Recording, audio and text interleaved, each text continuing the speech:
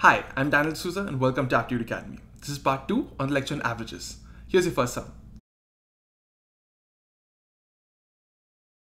Alright, for your first sum now, they've told you that you have the average of 30 results to be 20 and you have the average of 20 results to be 30. So what's the total average? Now, if you watched the first video, this should be quite easy to solve. So you just have to find the sum again, divided by the total number, and you have your average, right? So we'll solve this easily. This will be 30 into 20 plus 20 into 30, right? This is just the number into the average divided by the total number. Now the number here are the results, not the averages, okay? Even though the numbers are same when you add them up, make sure you know what you're adding and where you're putting what, right? So you've got 30 plus 20 here, right? That comes from the results because they are the number of items. Okay, so now you've got this. Now 13 to 20 plus 20 into 30 is going to be 600 plus 600, that's 1200 divided by 30 plus 20 is 50 1200 by 50 is 24 right and this is going to be average easy let's go on to problem number two Alright, now for the second sum, they've told you that groups of 55, 60 and 45 have averages of 50, 55 and 60. What is the total average of the group, right? So now, similar to the first problem, you're just going to multiply it out, get the total sum divided by the total number of people and you're going to get your average. The thing what they're trying to trick you here is that look at the numbers in the groups column and the marks column, right? You have 55, 60 and 45 in the groups and you've got 50, 55 and 60 in the marks. So you see there are similar numbers, right? And if you don't really know what goes in the denominator, you're going to make a mistake, right? If you put the marks in the in the denominator instead of the groups, you're going to get a different answer. And there's definitely going to be an answer in the options that has that answer in, right?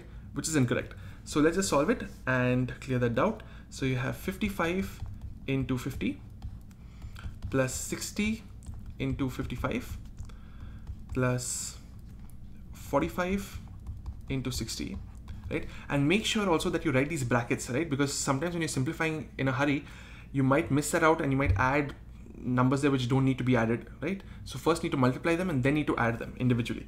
So you divide this by the groups.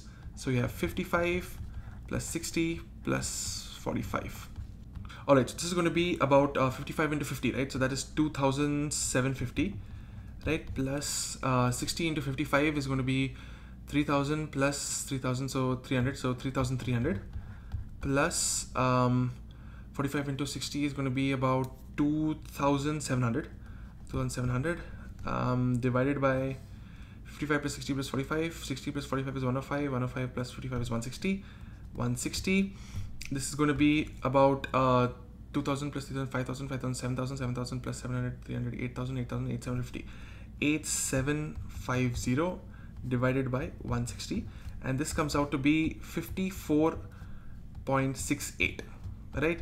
So now this is nothing close to whatever your marks are i mean in a whole number but this is your answer. And this might be one of the options. If it isn't exactly then always uh, select the nearest number right? So if it was 55 there mark 55 but if 54.68 is there always mark 54.68 let's go on to problem number three Alright, now for the third problem, what they've said is that you have an average of 10 numbers is equal to 7. Right, now if each of the numbers is multiplied by 12, what is the new average? Now this is a very important concept for you to understand for the future as well. So let's spend some time on it. Alright, now forget about these 10 numbers. Suppose you have three numbers. You have x, y, and z, right? And I ask you to find the average. So you're going to write an equation like this, right? x plus y plus z by 3 is equal to your average, correct? So now suppose x, y, and z are some numbers and you get the average a okay? Fine. Now what I'm going to do is suppose I multiply 12 on both sides of the equation right? Now here I've multiplied 12 into x plus y plus z by 3 is equal to 12a now if I simplify it in the next step you see that 12 gets multiplied into x plus 12 get, gets multiplied into y and 12 gets multiplied into z right? So now you have 12x plus 12y plus 12z right? Divided by 3 is equal to 12a now what this essentially has become is that 12 has been multiplied into each of the numbers and when you calculate the average again, right? Suppose 12x was now one number, 12y was number was one number, and 12z was one number. When you find the average of these three numbers, you will see that it becomes 12a, right? If you compare it with the first equation, you should understand that if all your numbers are changed in a similar way, the average will also change in the same way, in the exact same way, right? So if x and y and z are all multiplied by 12, your average a will also be multiplied by 12. Suppose it is divided by say 6 right your average will also be divided by 6 Suppose it's added by 10, your average will be added by 10, right? Suppose it's subtracted by 4, your, your average also will be subtracted by 4, right? So whatever happens to all your numbers, the exact same thing will happen to the average. Keep in mind though that this operation has to happen to all the numbers, right? So if in your problem there was suppose the average of 10 numbers is 7 and 5 of them are multiplied by 12, what is your new average? Then you can't say this, right? But for this sum now, you know that the average of 10 numbers is 7, fine. All of them are multiplied by 12. Hence, what is your new average? Easy, 7 into 12. That is 84.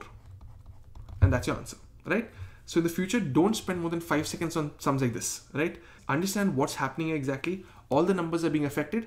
Hence the average should also be affected in the same way.